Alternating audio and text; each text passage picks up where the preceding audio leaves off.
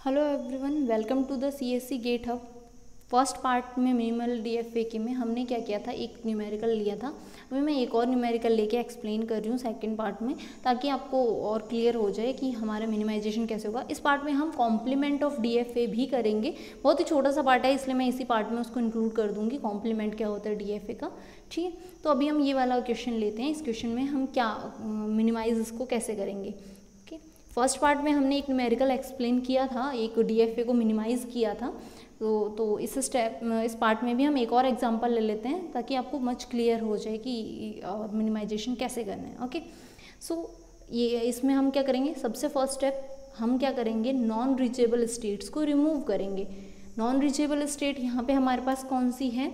वो स्टेट जिस पे कोई इनकमिंग एरो नहीं होगी या हम जिस पे इनिशियल स्टेट से नहीं पहुँच पा रहे हैं। तो यहाँ कौन सी है? जी वो स्टेट हमारी स्टेट है। क्यों? क्योंकि जी पे कोई इनकमिंग एरो नहीं है। क्यों नोट से हम जी पे एनी हाउ नहीं पहुँच सकते? तो यहाँ से हमें क्या पता चल गया? फ़र्स्ट स्टेप पे तो कि हमने फ़र्स्ट स्टेप पे एलिमिनेट किया है state G why because it is non reachable so so, आगे हम क्या करेंगे? फर्दर और कोई स्टेट है जिस पे हम नहीं पहुँच रहे? सारी स्टेट्स ऐसी हैं जिन पे हम इनिशियल स्टेट से पहुँच रहे हैं। तो अब हमारे पास नेक्स्ट स्टेप क्या होता है? टेबल कंस्ट्रक्शन का। तो टेबल कंस्ट्रक्ट करते हैं। इसमें उस वीडियो में क्या था? उस न्यूमेरिकल में जो हमने DFA लिया था उसमें एक ही फाइनल स्टेट थी। और तो वहाँ हमने फाइनल स्टेट पे प्रोसेस नहीं किया था, इसलिए मैंने ये पार्ट बनाया है, जिसमें हमारे पास multiple final state multiple non final state है और हम दोनों पे प्रोसेस करेंगे। हमारी जो स्टेट इक्वेलेंस एल्गोरिथम और मिनिमाइजेशन है, वो हम दोनों स्टे उस पर कर सेट्स पे कर सकें। तो सबसे पहले तो टेबल कंस्ट्रक्ट कर लेते हैं हम।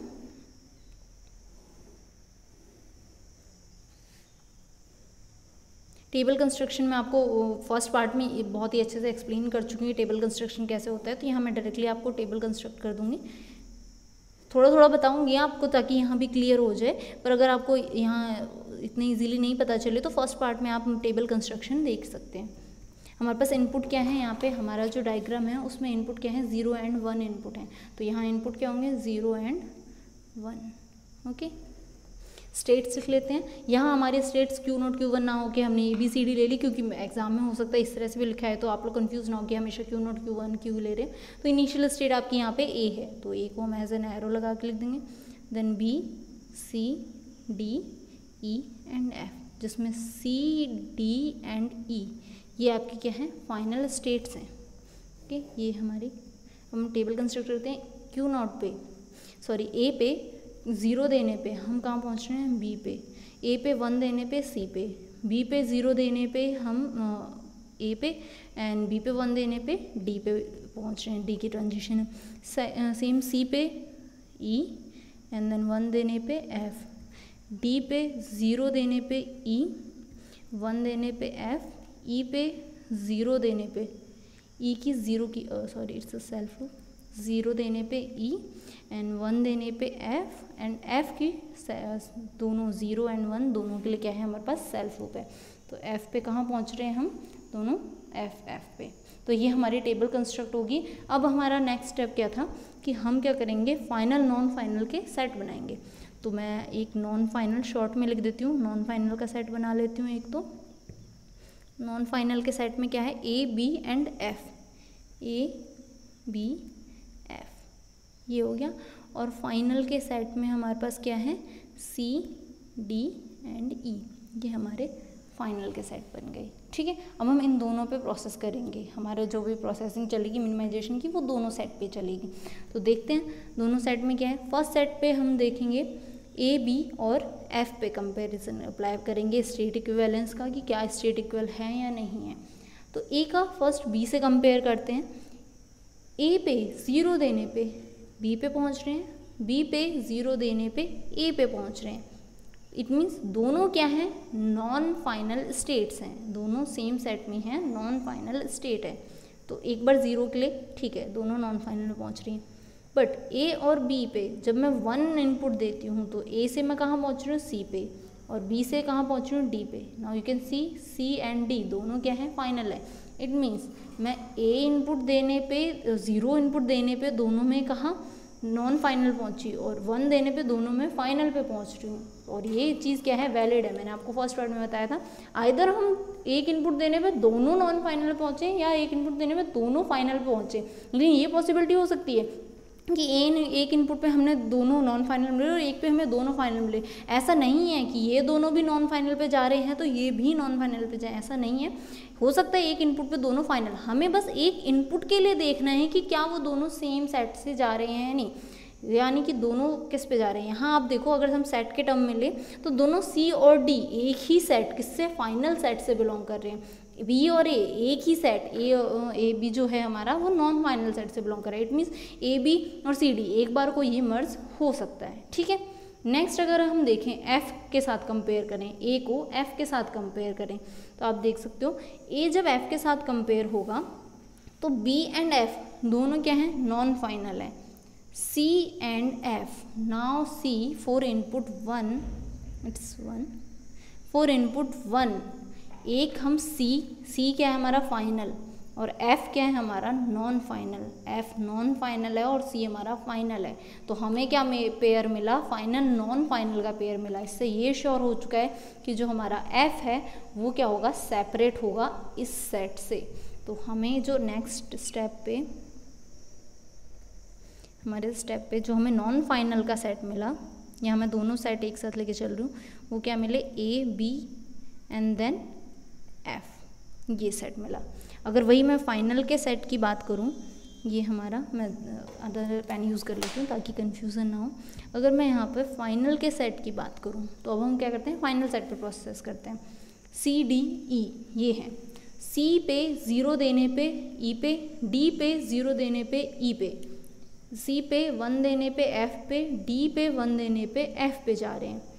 एफ़ दोनों क्या है? नॉन फाइनल ये क्या है? फाइनल अब आपने अगर पार्ट वन देखा हो तो वैसे तो आपको बहुत ईजिली यहीं पता चल गया होगा कि इनमें से कौन कौन सी मर्ज होगी। मैंने फ़र्स्ट पार्ट में आपको बताया था, जिनकी एंट्रीज सेम होती हैं, उनके चांसेस 100 परसेंट होते हैं मैक्सिमम चांसेस होते हैं कि वो मर्ज होंगी ही होंगी।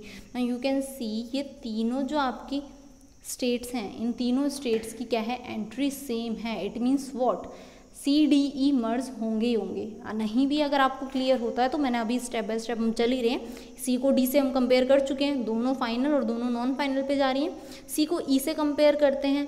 दोनों नॉन फाइनल सॉरी दोनों फाइनल और वन देने पे दोनों नॉन फाइनल पे जा रहे हैं। डी को ई e के साथ कंपेयर करूँ।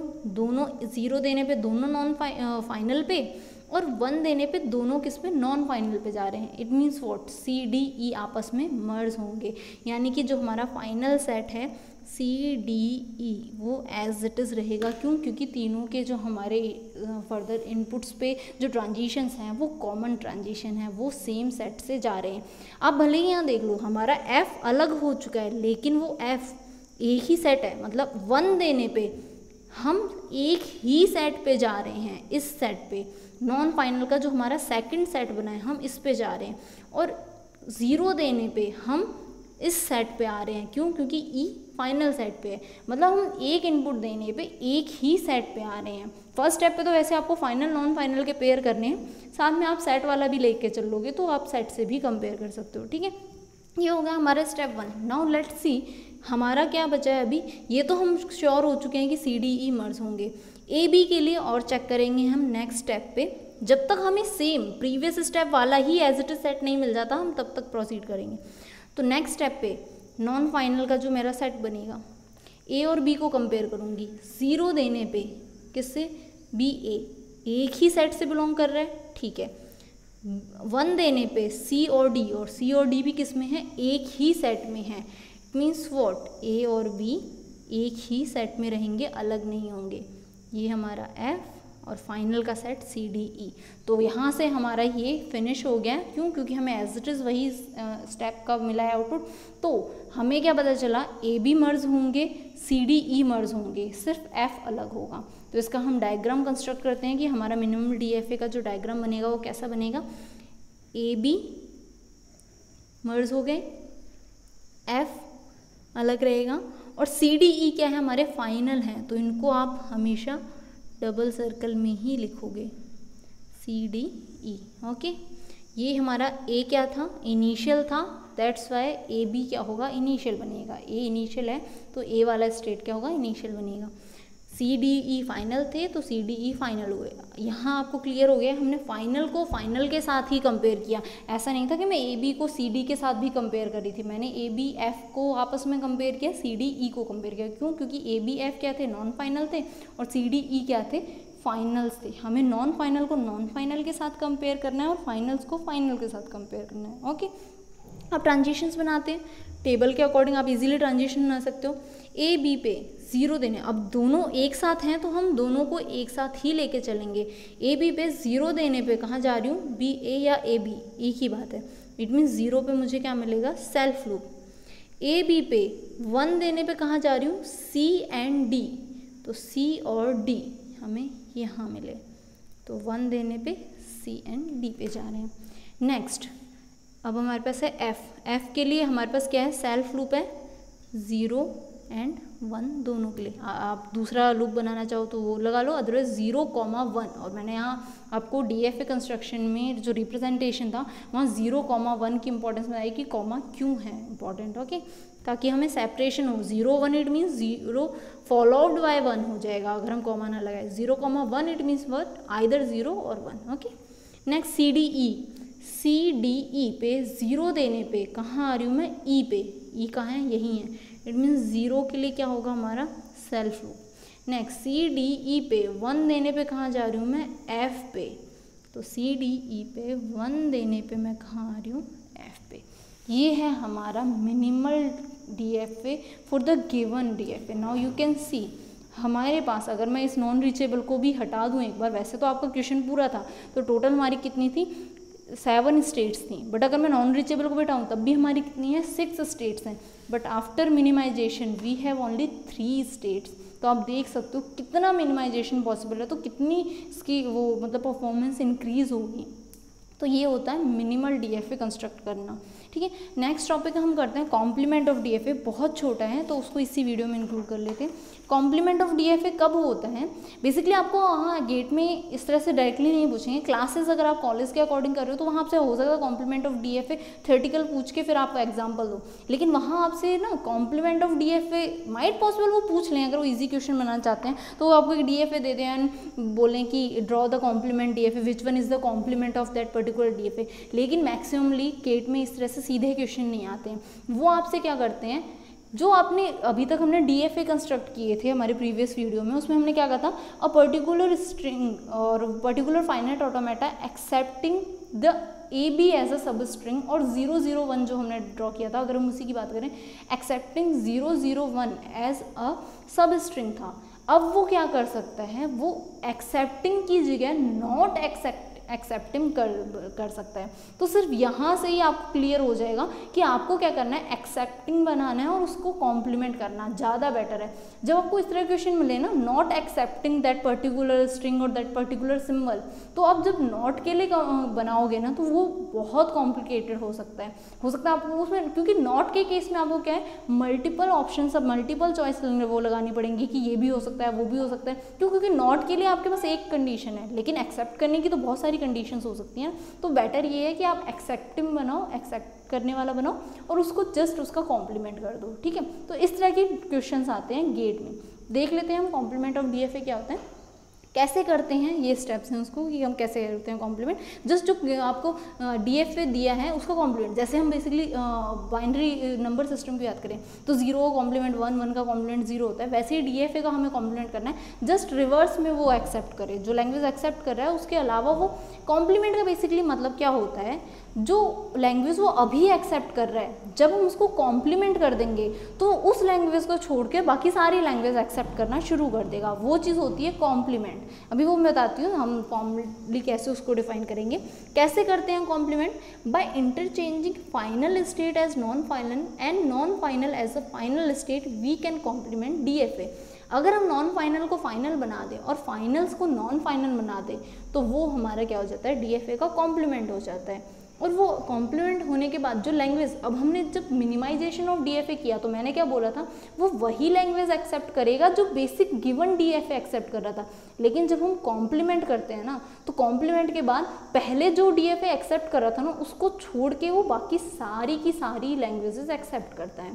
तो बेसिकली नेक्स्ट स्टेप वही लिखा है मैंने if language accepted by DFA is L अगर जो लैंग्वेज वो एक्सेप्ट कर रहा है डीएफए अभी, उसको मैंने एल नेम दे दिया।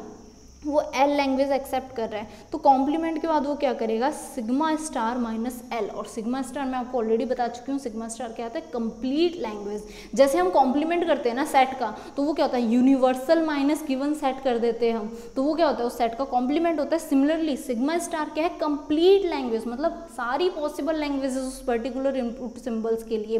वो सारी लैंग्वेजेज एक्सेप्ट करेगा except that particular L sigma star minus L मतलब कंप्लीट लैंग्वेज में से उस पर्टिकुलर लैंग्वेज जो वो एक्सेप्ट कर रहा है, उसको छोड़ दो, बाकी सारी लैंग्वेज वो एक्सेप्ट करेगा।